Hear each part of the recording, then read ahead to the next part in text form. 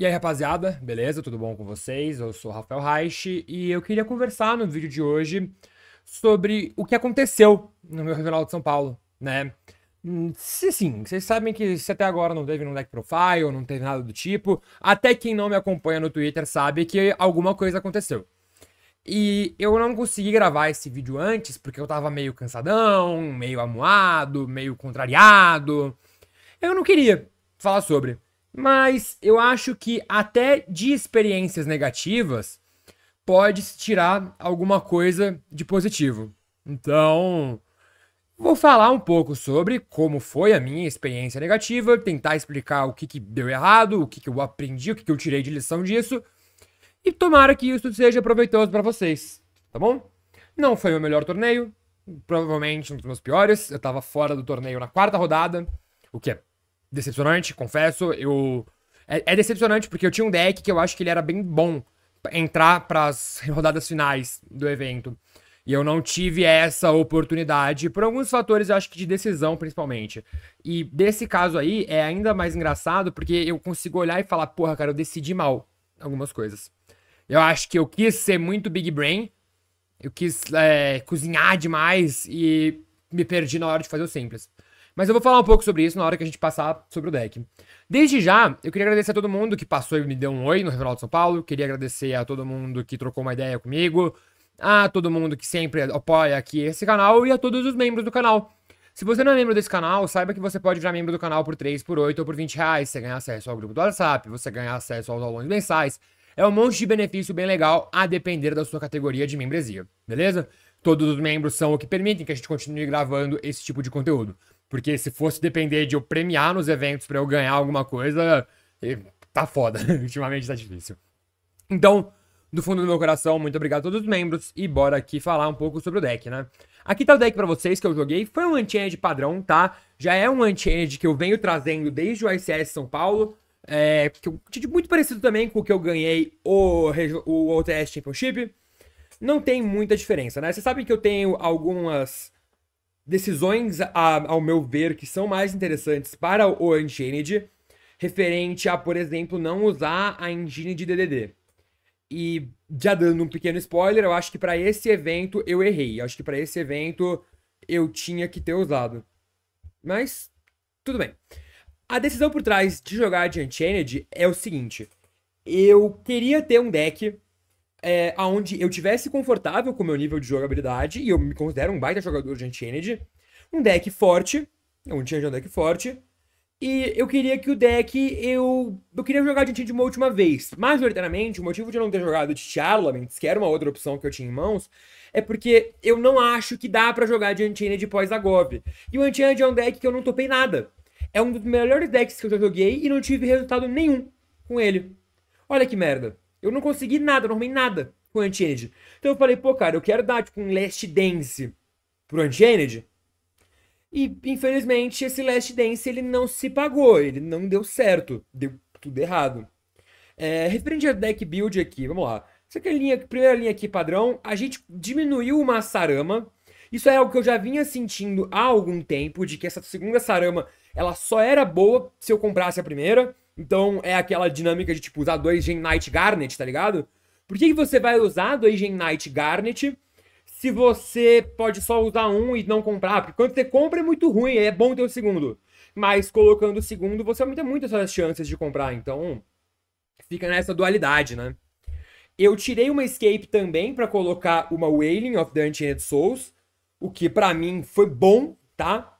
Eu acho que isso daqui não é o problema. Eu acho que o problema não é a falta de cartas de Unchained setáveis nesse deck.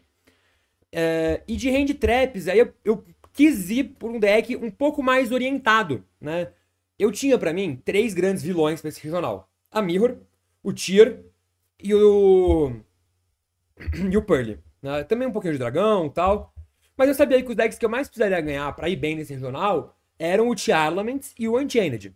Por isso que aqui na minha decisão de main deck foram três Crows e três Druidorms, cartas muito orientadas para isso. As Ashes, as Trusts e a Impermanence são padrões. Mas eu acho que esse Crow e esse Druidorm deram um problema muito grande que eu acho que eu confiei demais no Unchained.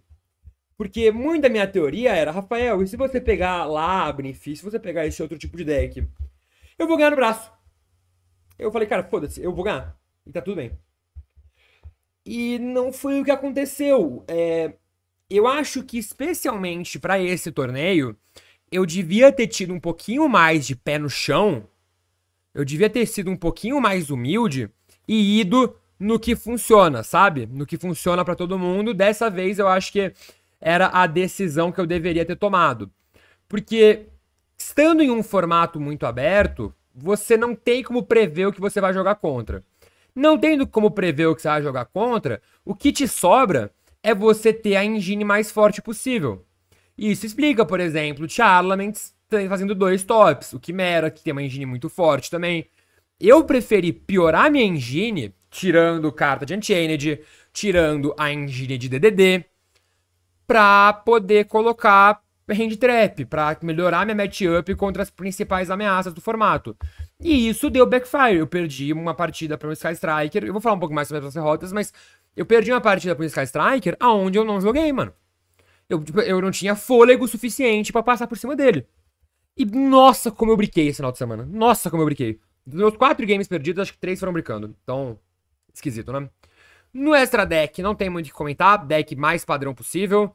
E no side deck, eu acho que também não tem muito o que comentar. A gente viu o Flanderize numa crescente bastante perigosa. Então a gente colocou esse metaverse, até por questão de trust, por questão de trap track, pra ter um acesso melhor ao Zumbi World. Ah, o Barrier era nosso one-off techzinho aqui. E esse Barrier aqui, eu confesso que ele quase saiu, tá? Porque tá todo mundo, todos os decks que tomam, tomam Barrier e perdem, estão com cross-out. Então fica meio complicado você querer usar a barrier. Fica meio paradoxal você usar essa barrier, sabe? É, é engraçado. Alguns alvos one-offs de Trust e o XYZ Core, que a teoria era muito boa.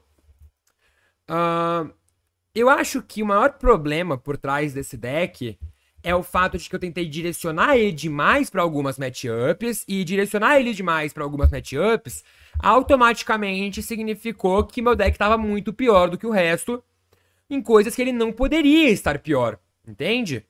O Unchained, ele não pode estar tá pior do que os outros decks em pressão, em engine. Especialmente quando os outros decks agora estão com hand traps melhores. Eu acho que fazia sentido jogar com um deck mais assim focado quando a gente não tinha todo mundo com Crow de main quando a gente não tinha todo mundo sabendo aonde interagir, interagir com o Unchained, coisas assim, tá ligado? É essa que é a minha maior neurose. Hoje, o Unchained, ele tá tão num alvo, e um alvo que é merecido, é verdade, mas também é não intencional, porque o Crow, ele pega tudo muito bem, o Crow tá bem forte nesse formato. E aí o Unchained toma esse tipo de coisa, e tomando esse tipo de coisa, você precisa ainda mais de mais cartas de engine. De cartas que colocam mais pressão na mesa, que é o caso do Dark Contract, Dark Contract with the Gate. Não foi correto da minha parte eu tentar direcionar tanto assim o deck. Eu acho que eu devia ter provavelmente tirado esses druids pro side deck, cortado um crow, colocado jogado com a engine de gate normal. Ter sido mais relaxado em relação a isso. Acho que foi é, é, esse foi o meu principal erro decisório, tá ligado? É, foi um erro de decisão total e é foda. Em relação ao torneio em si, é, minha thread do regional, primeira rodada eu peguei um Labyrinth e eu briquei e passei dois jogos, mano. No game 1, minha mão foi Trust, Talents, Charvara, Crow e Acho que foi a Ashe. Tipo, uma, uma última carta bem inutilzona. Tipo, a Ashe, Druid, alguma coisa bem, bem inútil. Aí eu falei, porra, que merda. Eu ainda consegui jogar, porque eu era um cara que eu sabia que jogava de Labyrinth, né? Então, eu passei com Rage Trap. E o meu plano era o Rage dar alvo no Labyrinth dele para fazer Yama, buscar Charvara, Charvara estourar Yama, dar escape no Charvara e na Yama, na, no Charvara e numa carta do cara. Esse Charvara seta uma Chamber, esse Yama renasce alguma coisa e vão para cima. O problema é que na hora que eu fui dar esse Charvara na Yama, eu cometi um erro de decisão, porque essa Yama, ela poderia ter pego o Charvara do cemitério. eu escolhi pegar o Charvara do deck. E aí, quando eu dei o Charvara da minha mão para destruir a Yama, eu tomei um Khaled no Charvara que tava no cemitério. E isso me arrebentou, tá ligado? Isso completamente me tirou do jogo naquela situação. E aí, no game 2, eu comecei de novo e eu briquei. Eu travei, mano. Literalmente, eu briquei. Tipo, foi tipo, dois Druids, um Magna, um, um Talent que eu precisei deixar e um nossa, a última carta. Acho que foi um Rino a última carta. É, foi um Rino a última carta. Então eu falei, cara, que merda, mano. Tipo, absolutamente nada que eu pudesse fazer. Sacou? Então eu abri 0-1. Na segunda rodada, eu peguei um Labyrinth e na terceira eu peguei um Traptrix. Foram dois 2 a 0 bem tranquilos, o deck jogou suave. Na quarta rodada, eu caí contra o Sky Striker e ele me mandou começar. No que ele me mandou começar, eu imaginei, putz, é um Sky Striker, mano, beleza. Vamos lá. É, e eu fiz campo. Eu fiz campo com Impermanence, mas aí eu tomei. Ele quebrou meu campo. E ele quebrou meu campo com Linkage, fugindo das minhas cartas. Eu setei um Trust a mais para tentar fugir de uma possível Afterburner, Cosmic Cyclone ou a Jamie Waves. E ele me deu Afterburn, ele não me deu Afterburners porque ele tinha linkage para fugir da Impermanence. Então ele quebrou meu campo. Só que ele passou com um campo bem fraco, só que eu não tinha pressão o suficiente para voltar e ganhar esse jogo. E no game 2 eu briquei, mano. No game 2 eu tomei, tipo, uma hand trap e perdi o jogo. Foi, tipo, muito assim, sabe? Foram jogos aonde, claramente, mano, eu tava muito para trás desde a hora que eu sentei na mesa. É, pode se questionar ali, mano, que eu errei na hora do, do Charvara no, contra o Labyrinth. E eu acho que eu errei em algumas linhas de decisão contra o Sky Striker. E tá tudo bem. Não tem muita neura nisso, não. Foram erros mesmo e não quero procurar muita desculpa, sabe? Eu acho que eu precisava ter sido mais respeitoso, até mesmo nas minhas escolhas de take card. Porque Cara, eu só peguei deck de controle. Foram dois Labyrinths, um Traptrix e um Sky Striker. E eu tava completamente descoberto para esse tipo de matchup. Tipo, literalmente. Não tinha muito aonde no meu deck eu estar preparado para Sky Striker, sabe? E aí eu acho que foi um erro meu de decisão, porque tinha muito Labyrinth, muito Risk Ace também. Esse tipo de decks, que se, mesmo que eu tivesse pego Unchained Tier, que eram matchups que eu acho que dá pra ganhar tranquilo, ao longo do torneio esses caras iam me enfrentar. E eles estavam preparados para jogar contra mim, e eu não estava preparado para jogar contra eles. Então, para mim, isso ia ser tenebroso, ia ser muito ruim. E não foi de tudo mal também, porque eu dropei do torneio na quarta rodada. 2-2 já sabia que eu não pegava mais playmatch nem deckbox. Falei, cara, quer saber? Eu não vou correr por pontos esse ano. Eu vou jogar um side eventzinho de Edson. E tá tudo bem. Fui jogar o side eventzinho de Edson. Até mostrar minha lista pra vocês aqui. Foi um torneio bem legal, tá? Desde já um salve pra todo mundo. Uh, eu joguei com um Vayu, né? Foram três Vayus, três Sirocos, dois Armageddons, dois Arcgraphers, um Rota, dois Hamsters, três Rykos, um Charge e uma Lina pra buscar um Charge. É, pra mim esse deck aqui é um Ryko, Control, tá? Esse deck aqui tem uma matchup muito boa contra os decks de tomates da vida, sabe? Tipo, tem vários tipos de tomate. Tomate, pra quem não sabe, é, o que eu chamo de tomate? É um monstro que quando ele é destruído, ele invoca outro do deck. E esse formato, ele é cheio desse tipo de deck. Então, esse deck aqui, baseado nesse, nesse Ryko Control, ele fica muito bom contra os decks de tomate. Aí foi um Card Trooper, um Gale, é, um Plague, um Gardna, dois Kaios, um Dead, um Spirit Reaper. Bom card, tá?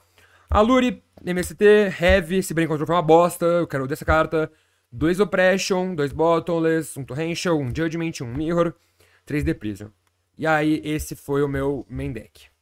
Em relação ao meu extra deck, dois Armed Wings, dois Armor Master, um Silver Wind, um Armor Army, um Catastor, um Brio, um Goyo, um Lightsworn, um Lightsworn, um Black Rose, Stardust, o Huller, o Colossal, Dark End, fiz muito essa carta, e o Chimera Fortress. E aí, side dois Crows, dois Sasudina, dois Rayo, um Cyber Dragon, um terceiro. Isso aqui foi muito bom. Gosto muito desse hamster. É, especialmente em matchups de decks que usam muitos tipos de tomates, né? Que é o caso do Fada, por exemplo. Eu acho que o Raikou tem tanto valor que você passa a querer usar o máximo possível. Por isso você sai ideia mais hamster. Aí um Kaiko, um Burial. Esse Burial, ele é muito legal contra o contra o deck de Quick Draw Synchron. Porque ele vai fazer aquele 6 lá que se remove e você tem esse Burial como um out, ao mesmo tempo que esse Burial pode voltar pro seu grave uns Necrogardna, pode voltar pro seu grave uns Vaius, propriamente. Dois Lights, é, um Compulsory, um Dust Tornado. Eram dois, aí eu tirei um de última hora para colocar um Trap Dust Shoot que o Judeu me emprestou. Eu queria agradecer, inclusive, porque um fato muito engraçado é que quando eu fui pro Japão, eu comprei várias cartas de Edson em raridades muito fodas para jogar. E aí eu tava jogando com meu deck aqui. E a galera do torneio não me deixou jogar com as cartas em japonês, mesmo sendo cartas, tipo, óbvias e que eu poderia oferecer tradução. E tudo bem. Aí eu precisei achar umas cartas emprestadas. Então eu agradeço muito ao Thierry, que joga bastante Edson, ao Samuel, que me emprestou uma Judgment, e ao Judeu, que me emprestou esse Trap Dust Shoot. Eu coloquei esse Dust Shoot aqui, e a ideia de colocar ele de side é porque ele é melhor contra alguns decks. Existem alguns tipos de deck que não jogam com a... que não jogam com a mesa, jogam com a mão. E é o caso do Quick Draw Synchron, por exemplo. E nesses decks é bom ter o The Shoot. Mas não dá pra mendecar esse tipo de carta, porque tem muito deck que simplesmente seta um monte de carta, tá ligado? Tipo, sei lá, o próprio Vayu Turbo, por exemplo. Contra o Vayu Turbo eu não coloco o The Shoot começando. Porque eu acho que o cara, ele guarda recursos, ele, ele usa a mesa mais do que a mão. Então depende do tipo de deck que você tá enfrentando. E o meu reporte contra os decks foi... Primeira rodada, eu caí contra um Quick Draw, foi, foi 2x0, foi um 2x0, verdade. Eu lembro que fez uma jogada, eu preciso fazer uma jogada, mano, pra matar ele. E aí eu, na hora que eu fui matar ele, ele tinha Gors. Aí eu tomei um Black Rose na volta, mas eu tomei um Black Rose com um torrente, só um torrente na mão. Aí ele fez o, o, o Synchro 6, baniu, eu tentei o Torrential, ele voltou o Synchro 6, eu falei, cara, eu não vou dar esse Torrential. Ele falou, mano, eu vou te matar. Normal do Debris Dragon, efeito, eu... Torrential, legal. Segunda rodada foi um Light Sworn, é... Esse Light Sword é um cara que joga bem, Edson, o Toninho, me falaram que ele joga bem. Só que o Light Sword tem esse problema, né? Que ele é um deck que ele é 880. Ou é o dia dele, ou você é, e você é completamente estourado, ou o cara não faz nada. E no Game 1 e no Game 3 ele não fez absolutamente nada. Apesar no Game 2, ele... E no Game 2, cara, tava muito tranquilo também. No Game 2 aconteceu que eu morri, mano. Eu tava com esse espelho de luz aqui, e eu vou confessar para vocês, esse espelho de luz aqui, ele foi meio ruim para mim, porque eu, eu jogo muito baseado no Raikou, tá ligado?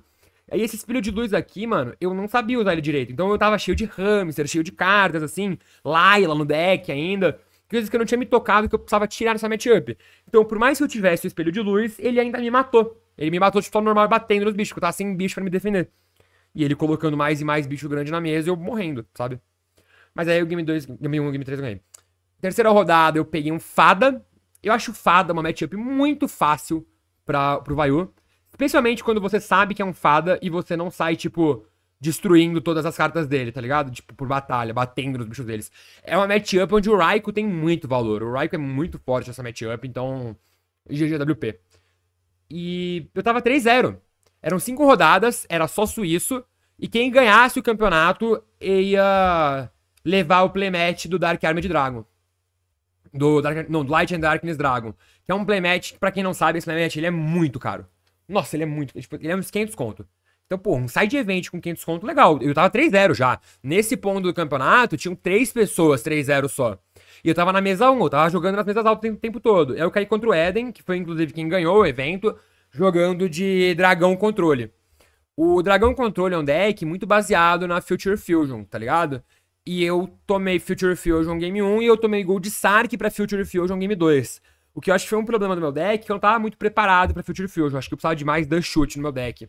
Mais, perdão, mais é, Dust Tornado no meu deck pra resolver um pouquinho desse tipo de matchup. Aí eu tomei dois e, mano, fui arrebentado. Pareceu profissional contra amadores. Engraçado. Ele tem um canal de Edson, inclusive. É, eles fazem um conteúdo de Edson bem legal aqui no Brasil. Então eu vou. Se eu não, não lembrar de colocar na descrição, me lembrem que eu coloco na descrição. Se alguém quiser acompanhar conteúdo em português de Edson, eles produzem bastante lá. Tá bom? E aí na última rodada eu joguei contra o Thierry. É, nessa altura o Thierry ele já tava X2, eu tava X1. E a premiação era o playmatch pro campeão e crédito na loja, na Epic, para quem ficasse X1. Então, é, Game 1 eu falei, mano, chegou no ponto do Game 1 que eu tava muito para trás. Mas eu conseguia dar um push no Thierry. Falei, mano, eu falei, Thierry, eu vou te matar. Tu tem um Battle Fader? Mostra aí que eu desisto. Ele mostrou, eu desisti. Game 2, é, eu achei que eu ia perder, mas eu ganhei. E no Game 3 a gente chegou muito perto do tempo. Então eu e ele fizemos jogadas muito esquisitas. Mano, a gente teve turnos inteiros de S onde vai, passa, vai, vai, vai, vai, vai, vai, vai, vai, vai, vai. Porque, pra quem não sabe, nesse torneio, o que foi rolado não era a regra antiga do tempo. A regra antiga do tempo era 0, 1, 2, 3. 4, 5? Era dois ou três turnos pra cada, não, não lembro, faz tempo que mudou a regra. E na, nesse torneio não, era tipo, acabou o tempo, é fim da fase, que é a regra atual, mas que não era a regra dessa época aqui. Então eu e o Thierry, a gente correu pra caralho. E nessa daí eu ganhei na vida. Eu ganhei por muito pouco. Porque, tipo, ele fez uma jogada lá, ele tentou me matar, e aí ele descartou um Gors pra tentar me matar. Ele precisou, ele precisou descartar um Gors pra tentar me matar. Só que eu tinha Deprisium. Aí ele passou com o campo vazio e eu consegui encaixar um dano ali que foi o suficiente para selar o jogo. Foi mais ou menos isso. Foi assim que aconteceu o meu campeonato. Foi legal. Foi divertido. Eu ganhei, tipo, 80 reais em crédito na Epic, então não tenho muito o que reclamar. Eu queria ter ido melhor no evento. Tipo, sendo bem sincero com vocês, eu sou competitivo. Muito competitivo. Eu odeio ir mal. Por isso que esse vídeo aqui demorou pra sair. Porque eu tava meio puto. Eu não gosto de perder. Não tenho que gostar de perder. Eu tenho que ter raiva de perder. Eu sempre falo isso, cara. Tem que ter raiva de perder.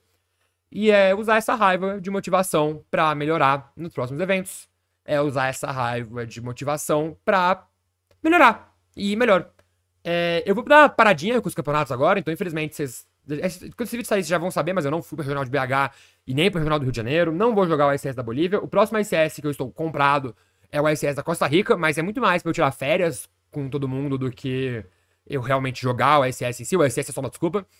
E então é isso. É, o conteúdo aqui segue normal, mas eu quero me dar a oportunidade de ser mais inventivo nos conteúdos que eu quero trazer. Então, muito obrigado para você que assistiu esse vídeo até aqui. Dá like, se inscreve no canal, compartilha esse vídeo com seus amigos. Rumo aos 10k. Muito obrigado. Valeu. Falou.